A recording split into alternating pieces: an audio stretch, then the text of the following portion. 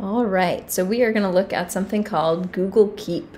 Uh, I recommend that you bookmark this in uh, your bookmarks if it's a strategy that works for you.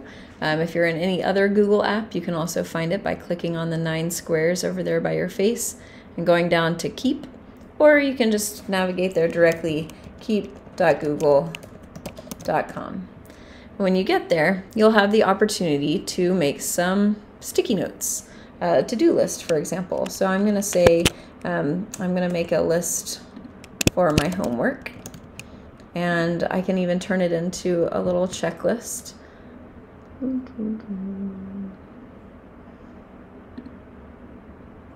By clicking on show checkboxes.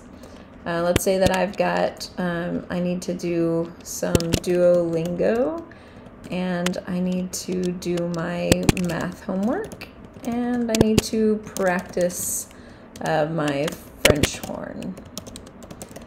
Uh, once I have my list done, um, I can check those things off.